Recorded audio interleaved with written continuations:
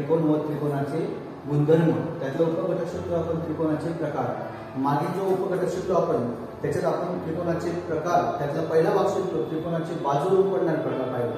आता आपण आज जो घटक शिकणार त्याचे त्रिकोणाचे प्रकार तो आहे कोणावरून पडणार तर त्रिकोणाचे दुसरा जो भाग शिकतो आपण आज त्रिकोणाचे कोणावरून प्रकरण कोणावरून प्रकार. तर कोणावरून कोणकोणते प्रकार पडतात? आज आपण त्याचा अभ्यास करणार. आहोत कोणावरून प्रकार तर पहिला प्रकार शिकूया आपण. कोणावरून पडणारा प्रकार? बघूया. तुम्हाला आकृतीवरून लगेच समजेल की हे आकृती कशी असेल. तर पहिल्यांदा प्रथम तुम्ही आकृती काढतो त्याकडे निरीक्षण करा. तर मी पहिल्यांदा एक त्रिकोण काढतो. त्या त्रिकोणाचं तुम्हाला शिरोबिंदू कोण हे बघता यायला पाहिजे. तर पहिला कोण काढतो मी. तर बघा या ठिकाणी चांगलं लक्ष द्या. एक आकृती काढतोय मी.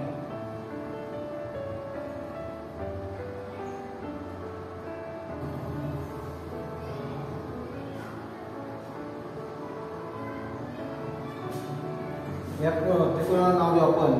त्रिकोण पी क्यू आर या ठिकाणी मी जो कोण काढला हा कोण आहे? लघुकोन. लघुकोन म्हणजे जो जर आपण मोजलं याचं माप तर याचं माप हे नव्वद अंशापेक्षा लहान असतो. म्हणून या त्रिकोणाला म्हणतात लघुकोन त्रिकोण. लघुकोन त्रिकोण. लघुकोन त्रिकोण.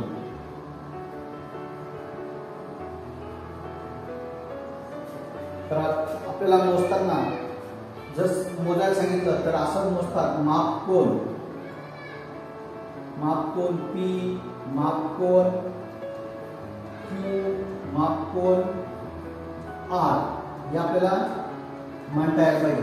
तर इथे आपण जर या कोणाचं माप मोजलं तर नव्वद अंशापेक्षा लहान आहे का हे आपण बघूया. तर या ठिकाणी या त्रिकोणाचं माप नव्वद अंशापेक्षा लहान आहे का? तरच आपल्याला हा त्रिकोण लघुगोल त्रिकोण म्हणता येईल. तर माप मोजताना या ठिकाणी बघा ही जी खून आहे ही खून लक्षात घ्यायची. तर बघा या ठिकाणी या कोणाचं माप आलं? बरोबर शून्य या रेषात जोडायचा. तर हे माप जर मोजलं तर आपल्याला हे हा जो कोण भरला दहा वीस तीस चाळीस पन्नास हा कोण आपल्याला पन्नास अंशाचा आला. म्हणजे याचा अर्थ हा लघुकोण त्रिकोण आहे. आणि असा आपण जर प्रत्येक अंश प्रत्येक कोण मोजला म्हणजे आपल्याला मार्क्स कोण किती त्याला? पन्नास अंश पन्नास अंश. नंतर दुसरा जर आपण हा कोण मोजला हं? तर या ठिकाणी बघा आपल्याला कोण मोजायचा आहे? कोण क्यू कोण आर हे जर आपण मोजले तर आपण कोण आर मोजूया? तर आपण जर मोजला कोण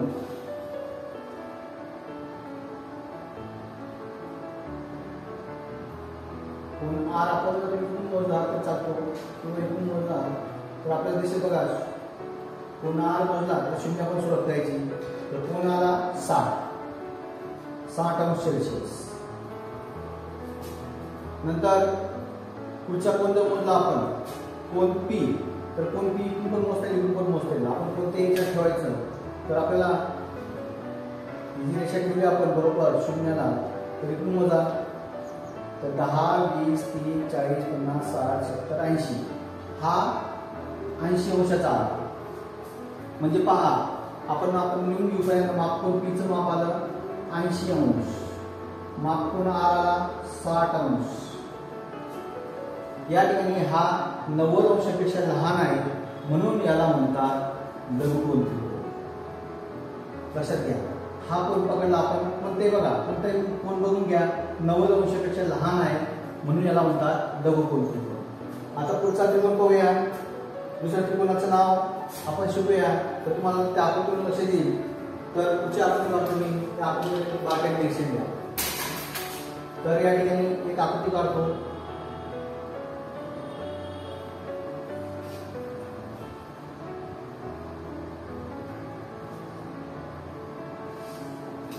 माझ्या हातात जो त्रिकोण आहे हा त्रिकोण सुद्धा ही आकृती इथे छोटी काढली परंतु इथे जो कोण तयार होतो बरोबर त्याला इंग्लिशमध्ये म्हणतात राईट अँगल आणि याचं माप आलं नव्वद अंश. आपण मोजून पाहूया.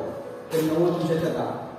तर या कोणाचं जर माप मोजलं तर आपल्याला नव्वद अंश जर भरलं तर म्हणायचं याला काटकोण बघा या ठिकाणी बघा. दहा वीस तीस चाळीस पन्नास साठ सत्तर ऐंशी नव्वद. तर नव्वद अंश सेल्सिअसचा नव्वद अंशाचा हा कोण भरला? तर आपण यापर्यंत या त्रिकोणाला नाव देऊ यल यम यन. या तीन बिंदूला नाव दिलं आणि मांडताना त्रिकोण मांडताना असं मांडतात त्रिकोण यल यम यन. तर त्रिकोण एलिमेंट मांडला आपण. तर यम हा कोण किती आला? नव्वद अंशाचा. तर यालाच म्हणतात काटकोण त्रिकोण.